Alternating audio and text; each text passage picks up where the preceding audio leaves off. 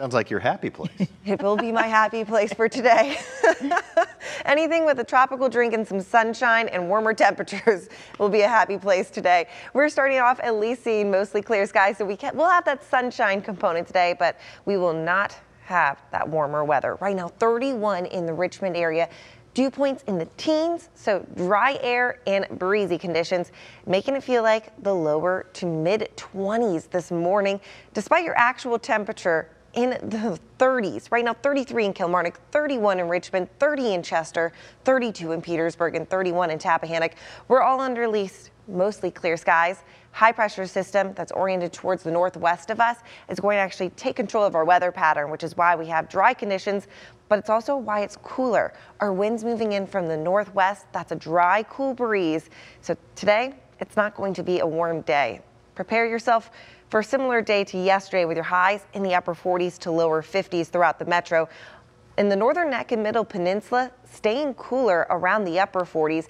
And then for the Piedmont of Virginia, you're looking at temperatures staying also in the upper 40s today. So it's going to be a chilly spring day, unfortunately. Also, it's going to be breezy, and that's going to stir up a bit of that pollen.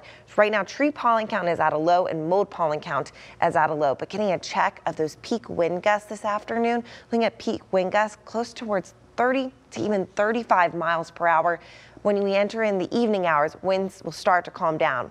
But with a calm wind and clear skies, and we've been bringing in cool air throughout the day today, it's going to be another cold night tonight. Temperatures drop into the low to mid 20s.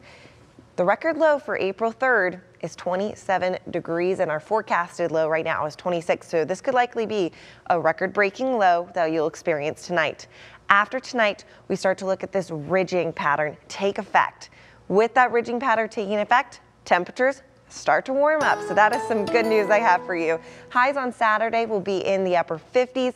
Highs for your Easter Sunday will be in the upper 60s. And we just continue with that warm up as we enter next week with your highs in the 70s.